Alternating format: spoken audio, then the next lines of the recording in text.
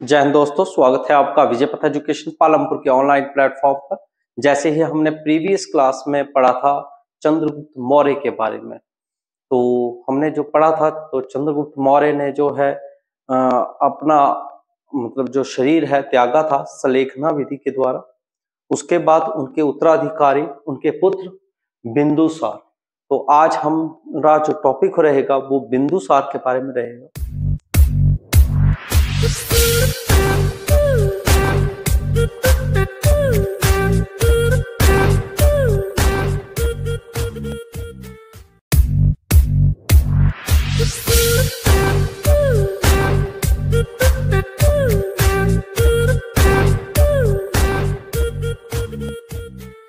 जो बिंदुसार हैं, वो चंद्रगुप्त मौर्य के बाद जो है, वो उसके उत्तराधिकारी बने थे।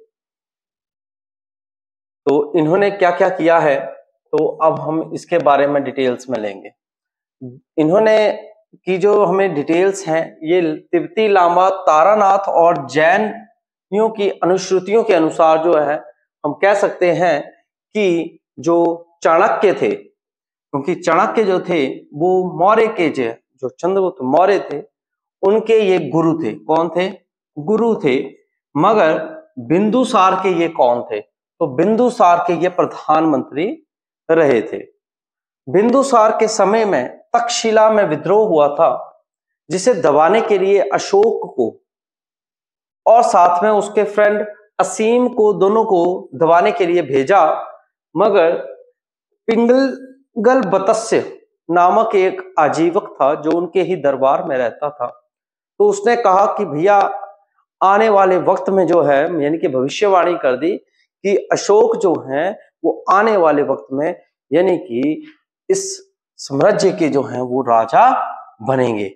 ये की थी। और जब बिंदुसार की जब मृत्यु हुई, उस समय ये अशोक जो थे, वो उज्जैन के राज्यपाल थे। तो ये था बिंदुसार का डिटेल। साथ में ही अब आगे हम चलेंगे। कि अशोक के बारे में देखेंगे साथ में। अशोक ने क्या किया? चंद्रगुप्त मौर्य का जो महानतम शासक क्योंकि बिंदुसार का ज़्यादा नहीं है तो इसी वजह से मैंने उसका इतना ही डिटेल्स ली थी। और अश, जो अशोक है वो मौर्य साम्राज्य का जो है वो महानतम राजा बने हैं। इन्होंने जो सिंहली की अनुश्रुति है उनके अनुसार अशोक ने अपने निन्यानवे भाइयों की हत्या की थी और फिर उसने संघासन जो है संभाला था। अशोक की माता का नाम जो था, वो शुभ द्रांगी था। अशोक ने जो है, कई बार कम्पिटिटिव में पूछा गया है, कश्मीर में श्रीनगर किसने बसाया? श्रीनगर शहर किसने बसाया या नगर किसने बसाया? तो अशोक ने बसाया था। अशोक ने अपने राज्य अभिषेक के आठवें वर्ष में दो सौ इकसठ ईसा पूर्व कलिंग पर आक्रमण कर दिया था। और उस वक्त वहाँ के जो राजा थे, या शासक थे, वो नंदराज थे और उन्हें पराजित कर विजय प्राप्त की थी। मोस्ट इंपॉर्टेंट रहता है कि कलिंग का युद्ध कब हुआ। तो कलिंग का युद्ध जो है, वो दो सौ इकसठ ईसा पूर्व हुआ था, जो कि अशोक ने आक्रमण किया था नंद राज पर और विजय प्राप्त की थी। कलिंग के इस व्यापक नरसंहार, यानी कि उन्होंने देखा कि बहुत ज़्यादा त्रासदी हुई है, बहुत ज़्यादा मतलब लाशों के भंडार देखे तो उनका दिल जो है वो पसीज गया। इस कारण उन्होंने क्या किया कि इसके परिणाम में उन्होंने जो है बौद्ध धर्म को अपना लिया था। और उन्होंने बौद्ध धर्म अपनाया और उन्होंने अपने ही कार्यकाल में सांची के स्तूप, जो कि भारत के मध्य प्रदेश में स्थित है, इनका निर्माण करवाया था। आगे इन्होंने अपने बच्चे जो इनके बच्चे थे, एक लड़का था, एक लड़की थी तो दोनों को भी बौद्ध धर्म की अनुश्रुतियों को, यानी कि बोला कि भैया महेंद्र, बेटा महेंद्र और संग मित्रा को, कि आप दोनों जो है, बौद्ध धर्म का प्रचार करो। उन्हें प्रचार करने के लिए कहा भेजा था? तो श्रीलंका में भेजा था प्रचार करने के लिए। तो अशोक के एक बेटा था और एक बेटी थी, याद रखिएगा। उपगुप्त नामक एक बौद्ध भिक्षु से जो है, अशोक ने जो है, उन्होंने बौद्ध धर्म की जो है, दीक्षा ली थी। अशोक के अभिलेख को पढ़ने के लिए हमने जो है, कोशिशें बहुत की। 1835 में पहली बार सफलता प्राप्त की थी, जेम्स प्रेप्स। और मौर्य वंश का जो अंतिम शासक था, वो वृद्धरथ था। वृद्धरथ जो है, वो मौर्य वंश का अंतिम शासक रहा और उसकी हत्या जो है, उसके सेनापति ने कर दी। उसका नाम था पुष्यमित्र शुंग। और इन्होंने जो है, एक ईस्वी में जो है, मगध राज्य पर जो है, वो शुंग वंश की, यानी कि पुष्यमित्र शुंग ने जो है, शुंग वंश की जो है, वो नींव बना डाली, यानी कि नींव रख दी थी।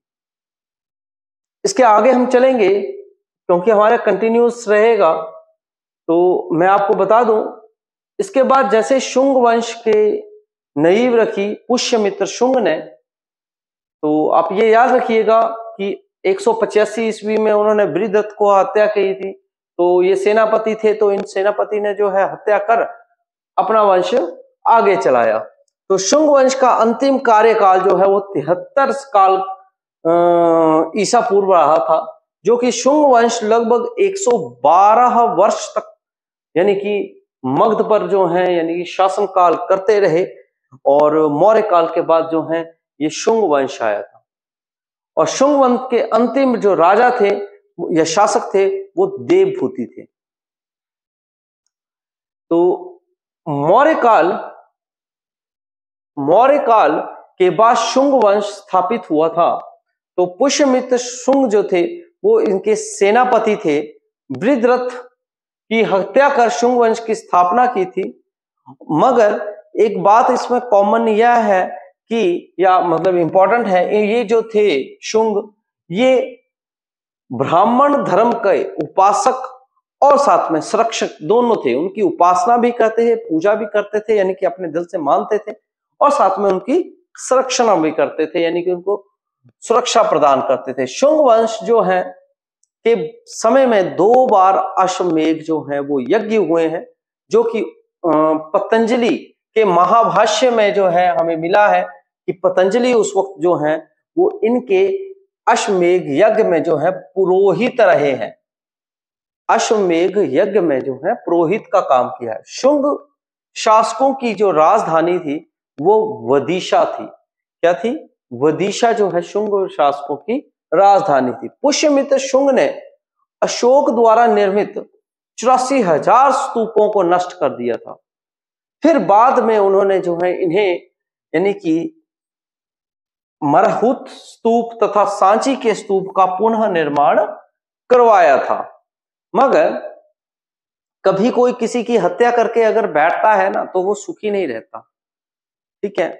तो इसकी भी जो है, आगे आने वाले वक्त में देखिए, हत्या कर दी गई थी। शुंग वंश के अंतिम शासक जो थे, वो देवभूति थे, जिनकी, उनके अमात्य वासुदेव ने तिहत्तर ईसा पूर्व जो है, उनकी हत्या कर दी और कर्ण वंश की जो है, नींव डाल दी। इसीलिए कहते हैं कि जब भी अगर आपका मन साफ़ हो ना तो आपको सभी साफ़ मिलेंगे। अगर आप खुद मतलब गलत कार्य करके अगर आपने कुछ चीज़ हासिल की है तो आपको हटाने वाला व्यक्ति भी वो उसी रास्ते से चलेगा। तो ये था हमारा अभी तक का टॉपिक अब नेक्स्ट टॉपिक हम शुरू करेंगे, वो है कर्ण वंश जो कि वासुदेव द्वारा जो है, वो तिहत्तर ईसा पूर्व जो है, वो शुरुआत की गई थी। तो इसे हम नेक्स्ट वीडियो में जानेंगे। आज की ये वीडियो कैसी लगी, आप ज़रूर कमेंट करिएगा। तब तक के लिए जय हिंद जय भारत।